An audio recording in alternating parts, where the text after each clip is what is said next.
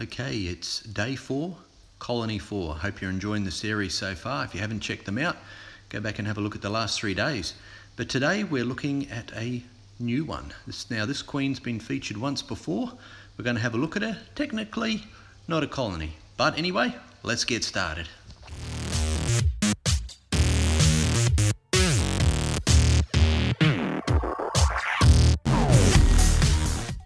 When you think of iconic Australian ants, what comes to mind?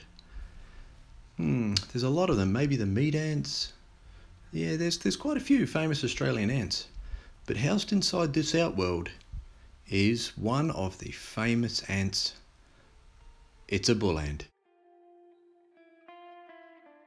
Now in Australia, there are 93 species of bull ants.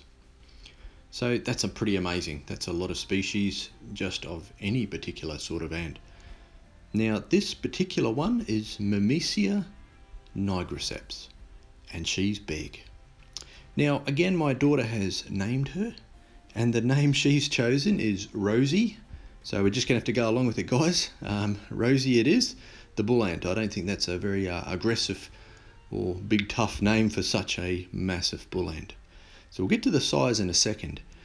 So a bit of background with this um, queen. Caught her well over a year ago now. She laid some eggs um, and then she decided to eat them and she actually hasn't laid again since. I'm trying to leave her alone. Now with bull ants, um, although I'm no expert on these girls, um, as you know, I don't have many colonies of these, but they require protein um, and sugars. Now, the worker ants themselves eat the sugars, but they need protein for the larvae uh, to feast on. But the queens also need a certain amount of protein as well to produce their eggs. Now, here you can see the size of her.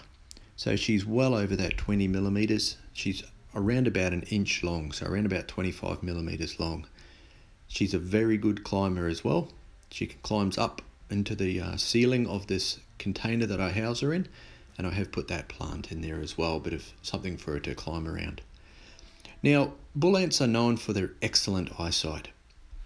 They don't use chemicals or pheromones um, to track or to find food. They just hunt with their eyesight. Now, those mandibles at the um, on the mouth there, they're to grip the prey, and then they sting. That's right, the sting. Now, Myrmecia are renowned for very, very painful stings.